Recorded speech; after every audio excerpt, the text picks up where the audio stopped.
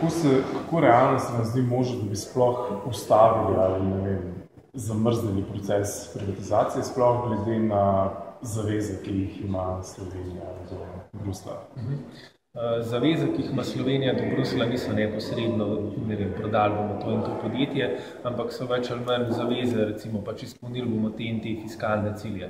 Zdaj za fiskalne cilje pač vemo, da obstaja več načinov, kako uh, jih izpolniti, tako da to niso neke, kako bi rekel, trde zaveze, ampak so mehke, uh, fleksibilne in Slovenija ima manevrski prostor. Tako da recimo uh, v stališču pač odnosa do Brusla je zadeva izvedljiva.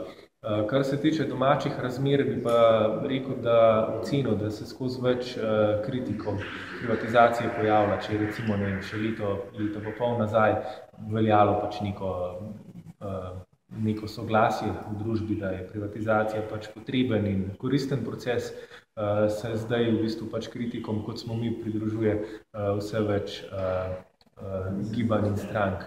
Eh, Naprimer, sindikati so se izrekli zelo negativno proti privatizaciji, SD se nagiba eh, k mnenju proti, Desus eh, se nagiba k tem mnenju, v bistvu tudi v vladajoči stranki, stranki Mira Cedarja, mnenja še zdaleč niso tako enoznačna, kot se mogoče zdi na ozven.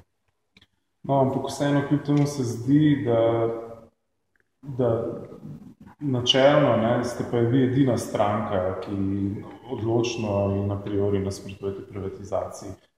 Kakšne so šanse, da pripričate še ostale v svoje stališče? Uh -huh. uh, tukaj bi v bistvu, mi smo poskusili najprej izbrati podpise za, uh, za to, da bi se ponovno glasovali o sklepu privatizaciji 15 podjetij. Rabili bi 23 podpisov poslancev, ki jih takrat nismo bili zmožni izbrati, ampak to še ne pomeni, da, da smo upali. Uh, to bomo poskušali še.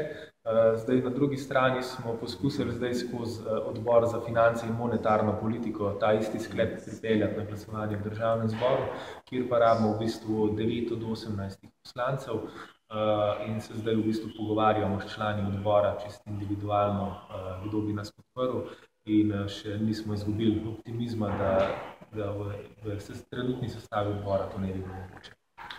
Um, Ampak vseeno zdi se pa, da tudi sindikati, vsaj glede na zadnje izjave, kot da so postali na nek kompromis, vsaj znotraj SSE-ja, uh, so sklenili pakt, dogovor, da bodo sodelovali pri prihodnjem paketu uh, privatizacije in očitno ne bojo odrezali tega trenutka. Eh, mislim, da na ISS-u so se na nek način oddali. Pač videli so, da znotraj pač te institucije, čist zaradi tega, ker so jih uh, drugi uh, socialni partneri preglasovali, da pač nimajo enostavno zadost vpliva, zadost glasov, da bi bili zmožni privatizacijo ustaviti, ampak uh, sindikati še niso rekli zadnje besede tudi glede prvega paketa privatizacije in uh, v bistvu se z njimi dogovarjamo o nadaljnih akcijah, uh, več od tega pa sporočilo v naslednjih počakali. Vlada napoveduje, da bo do konca novembra pripravila novo strategijo upravljanja z državnim premoženjem in to bi ne bi šlo potem v javno razpravo. Neuradno naj bi bilo na novem seznamu 64 naložb države.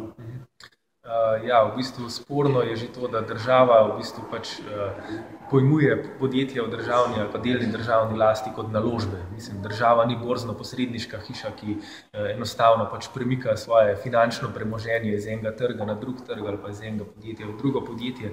Pač država bi tukaj mogla nastopiti sploh med krizo kot pač nek proaktiven eh, upravitelj teh podjetij, kot nekdo, ki želi ta podjetja rešiti, ne pa ne vem, mislim, prodati naložbe, kot oni temu pravijo. Eh, tako da v bistvu ta vlada že na ravni, mislim, terminologije pa načina, kako s tem postopa, eh, je za nas pač popolnoma napačen. Eh, kar se tiče eh, nove strategije, bi pa rekel tako, da upamo vsaj to, da bodo na nek način se držali vsaj svoje predvoljivne obljube, no, ko so rekli, da se bodo privatizacije lotili strateško, premišljeno, ampak tako kot zdaj izgleda, mislim, pač najprej bomo prodali 15 naložb, potem pa še 64 naložb, uh, mislim, vse to pač enostavno uh, diši po razprodaji in ne po neki strateško premišljeni privatizaciji. Okay, okay.